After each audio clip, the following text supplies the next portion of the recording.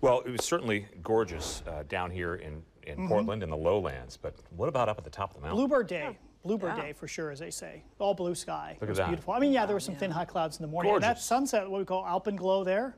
Nice. And you can tell the mountain's still a little bit alive. That's called Devil's Kitchen off there on the right. See the rocks that are it's where it's melted. Yeah. It's still there. Someday it'll wake up. We will see. Uh, anyway, so yeah, beautiful view. Now there will be a little bit of snow on the mountain tomorrow, folks. Not much. It'll be just you know an, an inch or so. But uh, it was warmer up there today. I'd love to show you the temps, but they appear to both be off since they're both blank. But I, I know it was in the low to mid 40s up there at Skibowl earlier today. All right, the south wind has arrived at the coastline. Southwest uh, 17 gusting to about 30, and you see the clouds thicker offshore. That's rain out there, folks.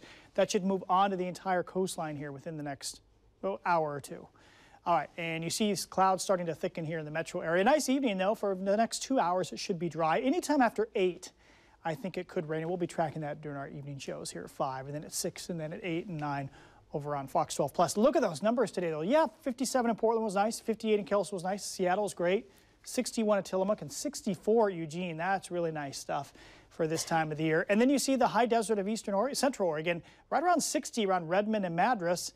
And then a little cooler in, in the far eastern part of the state. Some of you have snow cover. Of course, that keeps the temperature down. But tonight, 40s west side. It won't be as cool tonight west side. It'll be in the 20s and 30s for most of you east side as that rain moves on shore. Now, for the kids in the morning, last day of the school week, um, just a few showers, just like some light stuff here and there, 45. Now in the afternoon, uh, there'll be some sun breaks. We're going to call it mainly dry. Can't rule out a shower. I mean, I wouldn't be shocked if there was a. We look at the radar tomorrow during our four and five o'clock shows, and there are just a few little green spots here and there. But uh, what's ahead? Well, I think dry is the big word through Sunday. Not much rain. The only showers are tomorrow. I think we've got a dry weekend ahead. We're going to see a mixture of cloud cover and sunshine, maybe a spot or two of fog. We definitely see a cooler pattern for next week. Not really cold. There's no Arctic blast coming, but just temperatures back in the 40s, which now 40s in mid to late February is a little below average. Could there be snow in the lowest elevations? If it's going to happen, which I don't think it really may happen, uh, Monday night and Tuesday morning, leftover showers could mix with snow at that point. And we'll talk about that more as we go through this hour. For now, we got the system offshore. It's actually splitting. There's some energy going down here, some going up here. So it's kind of doing this weird splitty thing. In fact, that part seems to be falling apart. Uh, that's what comes in and gives us the uh, light rain for about, oh, half an hour around 8 or 9 p.m. And then it moves off, and we get these scattered showers for the morning commute. Tomorrow afternoon, yeah, there's still a few scattered showers around, but a lot of dry areas. So I just think if you're at any one location, you know, you stay at home all day tomorrow and you're looking out the window the whole day, I bet you for only a short time you'll see any showers. Saturday, mixture of cloud cover to sunshine, pretty nice in the afternoon. Sunday, oh, maybe a spot of fog, some high clouds in the afternoon.